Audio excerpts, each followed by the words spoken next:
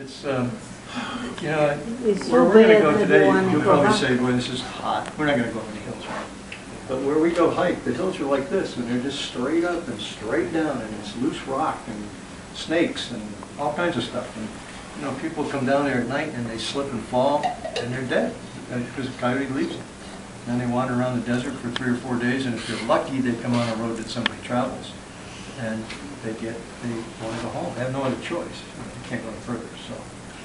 so- All you need is to sprain an ankle out there and you're finished. Get- So, you want to go out and wander around and see what we can see out there?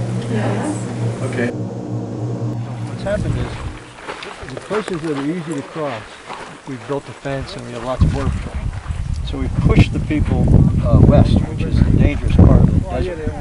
And so now they're crossing in the really dangerous areas of the desert. And, you and you, we can't, you know, there's no fence there because I don't think it's possible to build one.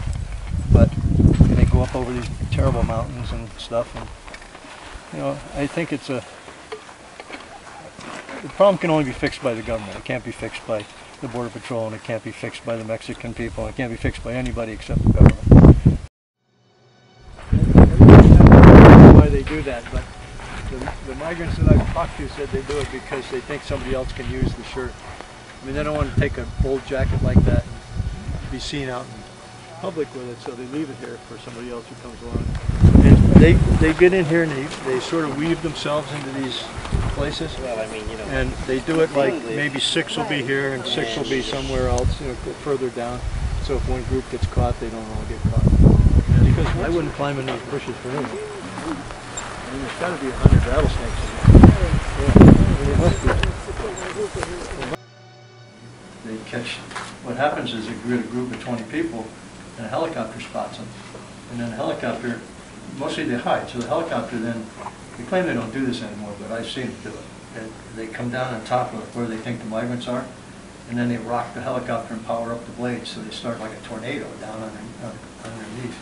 And pretty soon, somebody runs, and then once one person runs, they all, and then they got them.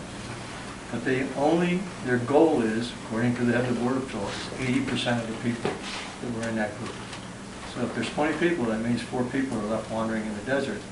And the coyote always gets arrested, because he wants to get arrested. He wants to go home, because he, he's lost all the people. Of course, he doesn't want to know he's a coyote, so. So, uh, then when they get, you know, so now you got four people wandering around the desert, and they don't know where they are, they don't know where north is, they don't know where anything is, you know? And the first people we ever met had two little babies about this big and one in arms. And, and they were trekking through the desert for four days, and we said, well, where are you going? And they said, we're going to, uh, to uh, Minneapolis. And I said, you know where Minneapolis is? And they said, well, the coyote told us it's those lights that we can see up there. So, mean, they tell them whatever they need to tell them to get them to cross the border.